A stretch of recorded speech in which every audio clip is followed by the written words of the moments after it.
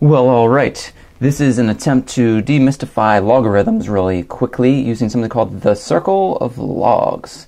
And I've actually not seen this in a textbook, but uh, a colleague of mine showed me this, and I thought it was I thought it was great. That was brilliant. So, what we're talking about is if we have a logarithm. So, like, if, let's say we have a log base, I don't know, three of seventy, and that equals x. Let's say we can talk about a lot of things with this. We could talk about the change of base formula to actually figure out what this is.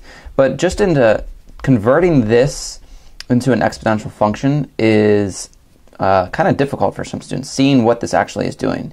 And um, using the circle of logs, we can we can see that. So if I wanted to convert this into an exponential uh, function, uh, this is how I would do it. I would look at the base first. So the base is right here, this smaller one. So it's this, and then I kind of draw this circle with arrows.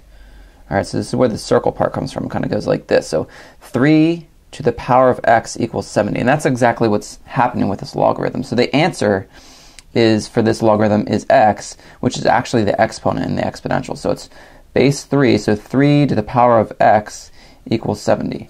Those two statements right here are equivalent. All right, so if I write this, that is saying this. If I write this, that is saying this. These are equivalent statements. So in a textbook, you'll probably see something like this. You'll see log base A, so it's just an arbitrary number down here, uh, of C, let's say, equals B. And it'll have other some other statement. This is true if and only if A to the power of B equals C.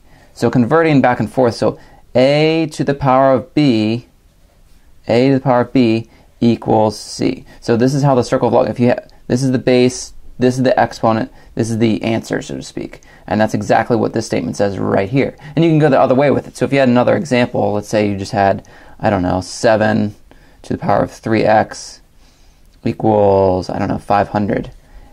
If the problem says convert this into a logarithm, well, what would you do? This is the base, right? So if we have a log, we need a base. What's the base? The base right here, same as this part. And then remember, 7 to the power of 3x. So the circle would go this way. The answer, so to speak, is the exponent, and that is 500. So this is really log base 7 of 500 equals 3x because 7 to the power of 3x equals 500. 7 to the power of 3x equals 500. So these are examples of practice problems. Good luck.